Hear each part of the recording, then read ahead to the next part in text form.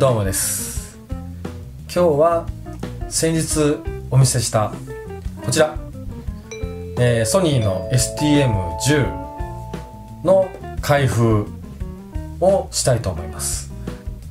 まあできればね今回の動画であの開封だけじゃなくて、まあ、初期レビューといいますかね、えー、試しに使ってみてどうだっていうのもお見せできればなと思います。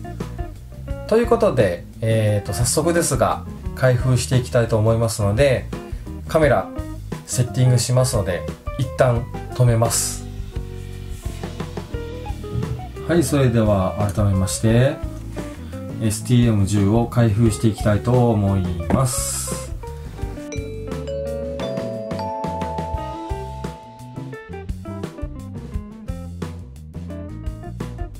まずこちらが本体ですえっ、ー、とプラスチックではなくて多分これは何だろう金属なんだけどな。何だろうね。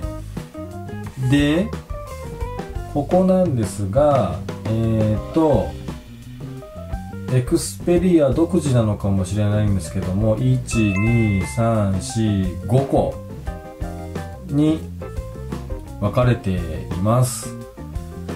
はい。で曲がります。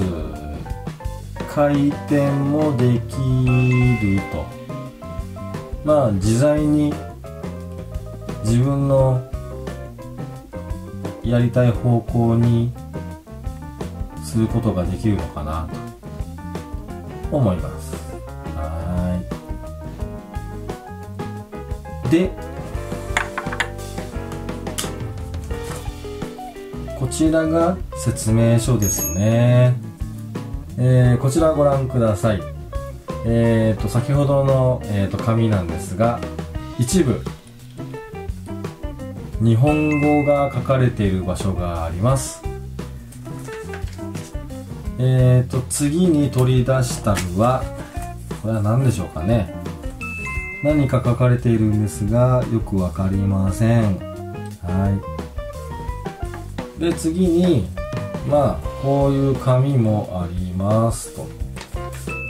まあスマホにさせみたいな感じなんでしょうね。は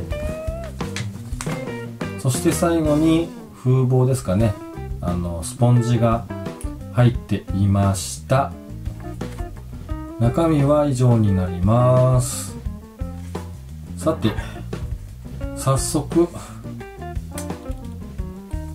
風防を取り付けたいと思います。こんな感じでしょうかね。じゃあね、えー、スマホを用意しました。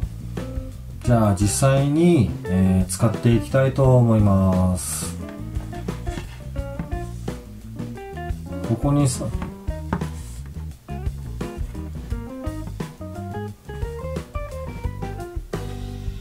今スマホに挿そうとしたんですがこのプラスチックの部分がですね結構硬くてまあケースがある場合は多分硬くてさせないのかなと。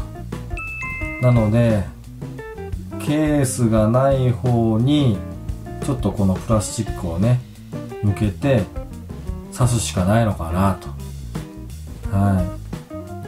刺した要素はこんな感じになります。ね。はい。えっ、ー、とアプリはあの STM10 専用のアプリがありますと。それをあらかじめダウンロードしてます。えっ、ー、とこっからはちょっとスマホにもちょっとスマホのスクリーンレコードにもやってみようかな。わかりやすいようにね、はい、録画開始。えっ、とモードがまずこのアプリにはとステレオっていうのがあるんですけどモノラルに変えることもできますと。で音質音質もえっ、と、まあ、最高から標準までっていう4種類がありますと。で、まあ、今回は試しにこうね上から2つ。最高って多分あの CD と同じ音源？ウェブ音源になるのかな？PCM って言ってもいいんだろうけど。そういうことになるのかなと思って。はい。一応その一つ下のこうにちょっと設定します。はい。で使い方はこのまま単純にまあ真ん中下のでっかいね丸のボタンを押せばいいのかなということで押します。エラーファイル保存できませんでした。やれやれ一旦カメラ止めます。はいちょっと調べてみました。えっ、ー、とまあ結果的に言えば当たり前なんだけど、えー、スクリーンレコードを使ってる時に録音ができないと。うんそりゃそうだよねって。メモリーカードに対しては2つのアプリがアクセスしてるわけだからね。はい、ということで、えー、っとちょっと見づらいかもしれませんがこの状態で、えー、っとアプリを使って、えー、っと録音をしてみたいと思います。じゃあ開始します。それでは、えー、改めまして今 STM10 で録音しています、えー、モードはステレオモード。えーと、音質は上から2番目の高になっています。じゃあ、えー、せっかくステレオモードで録音してるんでちょっとあの爪の音をはい。まあこうやっていかがでしょうか？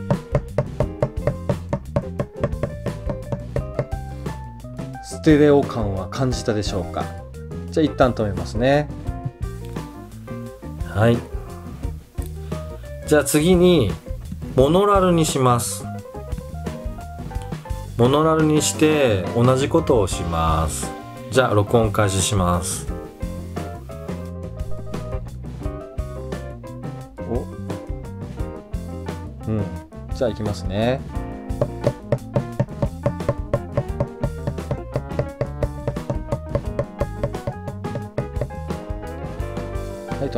ます。いかがでしょうか？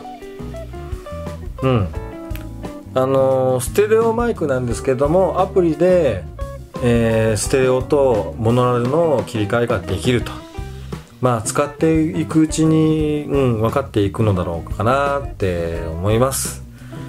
以上になります。いかがだったでしょうか？えー、っと簡単なレビューになってしまいますが STM10 を紹介しました。えー、と今もえっ、ー、と、録音してます。えっ、ー、と、私が気になるのは、やっぱりあの、ホワイトノイズかなって、はい、思ってます。で、せっかくね、えっ、と、まあ、5000いくらをしたマイクなんでね、送料込みでね、うん、あの、ぜひ使えるマイクであってほしいなと思うんですが、えー、と録音した様子っていうのは今時点ではちょっとね確認できてないです。えー、とこの動画を編集まあした時にホワイトノイズがどうだとかね。あとは音質どうだとかね。うん。まああとはそうですねなんかマイクっていうものはえっ、ー、とまあものによると思うんですけども自分の声がやっぱり、ま、あのそのマイクごとに微妙に変わるんですよね。うん。で、その中で、まあ、あくまでもその自然の音というか自然の声で、えー、録音したいなっていうのが、まあ、自然じゃないですか。でもね、自然の音で録音したいって言うけど、自分でそれを確認する術はないんですよ。他人に聞くしかないですよね。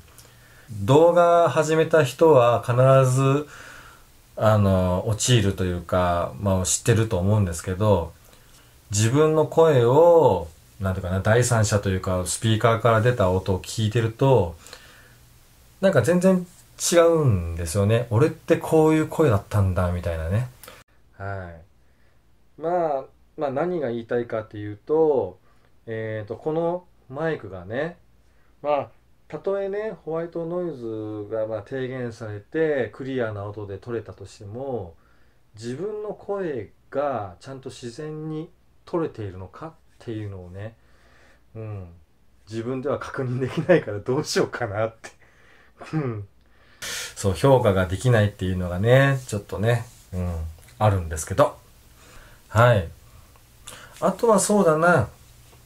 えっ、ー、と今モノラルモードで撮ってるんですけれども、えー、っと、そうだな、私が家で、ね、こうやって動画にしている限りは、ステレオじゃなくてもいいのかなだって気持ち悪いでしょあの、なんか近くで話してるような、そういう動画なのに、右と左で聞こえ方が違うっていうのはちょっと嫌だよね。だから一人で話してる時はモノラルで何か外行ってねなんか撮ってるって時はステレオみたいな感じで使い分けなきゃいけないのかなと。まあ逆に言えばまあモノラルでもステレオでもこれねこのマイクはどちらでも OK だよと。いうことなんでそれは便利かなと。ということで今日は STM10 の開封と簡単なレビューをしました。ということでバイバイ